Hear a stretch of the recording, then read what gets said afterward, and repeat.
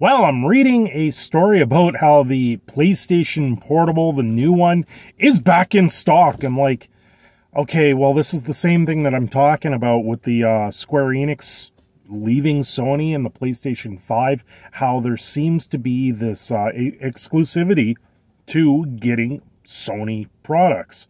They shortfall the distribution of these systems.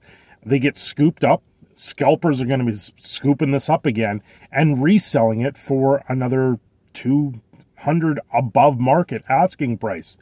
And it's absolutely ridiculous. By the way go check out pawn shops. I saw one in a pawn shop for the retail price.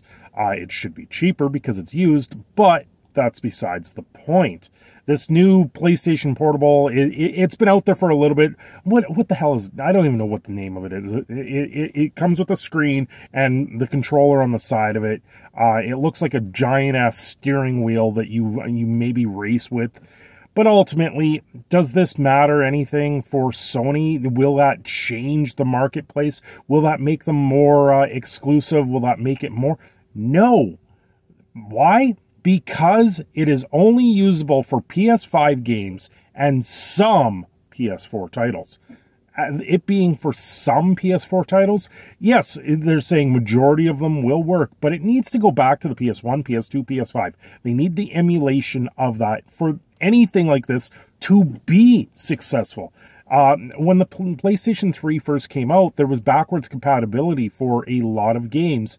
Uh, later models removed the backwards compatibility and then an update brought it back. And did that really change anything? They did it stealthily. No one really knows this. I still to this day have a PS3 that will play PS1 games, uh, but it's not the original with the multiple ports. It's it's more of a slimline model. So ultimately, did that win? Not really, but it does. Uh, he, it, it's funny it, with the PlayStation 4. If you have a PlayStation 4, just try this.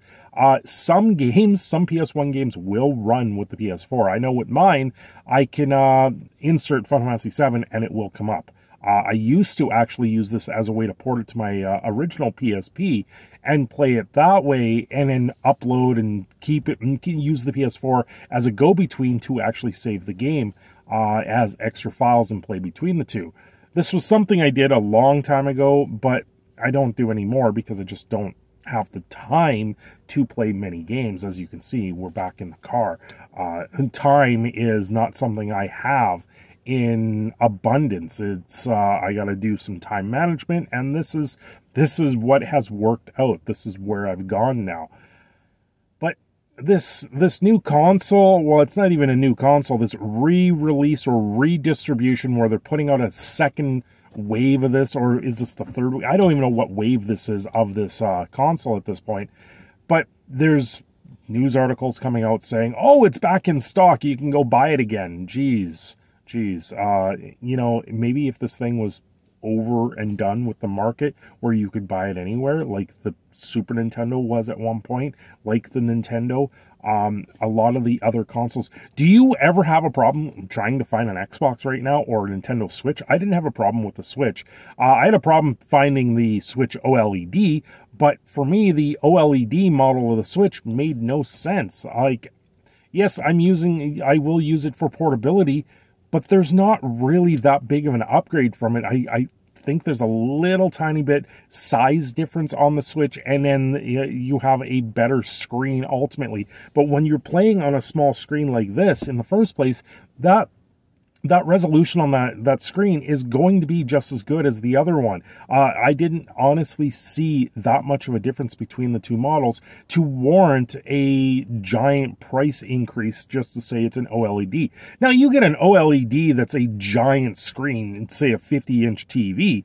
That's going to make a big difference because now you're going to see a crisper, clearer uh, image that's not tiny right? You're, you're looking at something that's actually quite big. So most uh, businesses that are running like sports uh, for their on their TVs, they should upgrade to something better because then the quality is there and you have more people that will tune in because it's more flashy and more more exciting and you see a lot more of the details. But when it comes down to a port, portable device, I'm more than happy than to have my phone, uh, or even in that case, have an old school Plume Game Boy.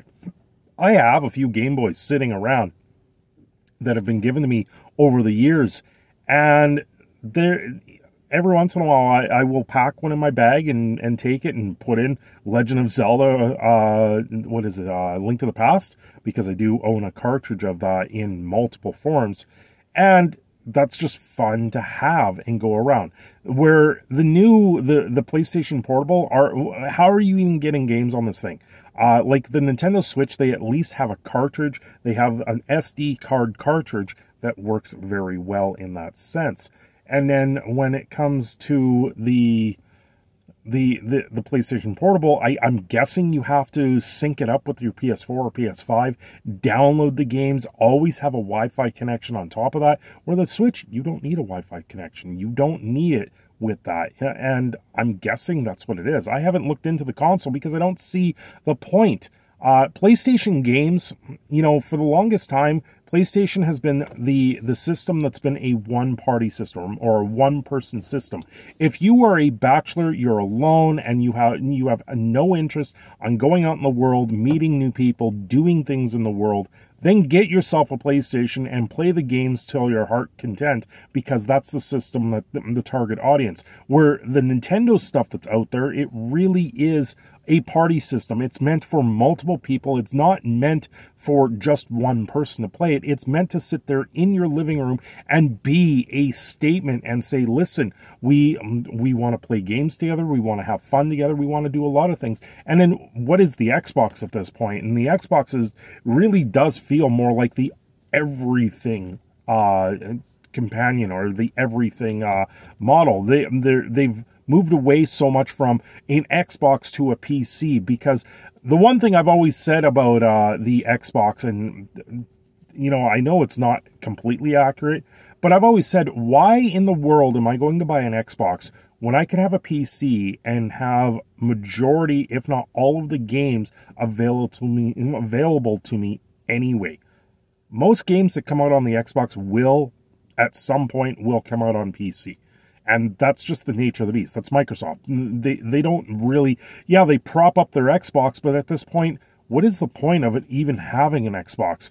Uh, you know, previously in the in, in, the Square Enix video, I talked about how you can get a mini tiny little PC for about the same price, if not cheaper, than an Xbox or a PlayStation at this point. Why not just do that? But you know the the articles i'm seeing out there for the playstation portable once again it's a item that sony has uh turned around and the distributors don't have enough of. They don't put out enough with the distributors so then it just goes to the wayside and it gets wasted and you know people sit there and go well why isn't sony doing so well in the market? Why are they laying off people? Why why when they have all these exclusive they say oh it sells millions of dollars well, part of that is because the the exclusivity and no one can get these things. No one has availability access to it because it's been so poorly mismanaged. I don't know. These are just thoughts from a car. Have yourselves a great day. I'm your Prod Canadian Phoenix Cindershadow. I'm signing off here. I will see you again very soon. Don't forget to like and subscribe.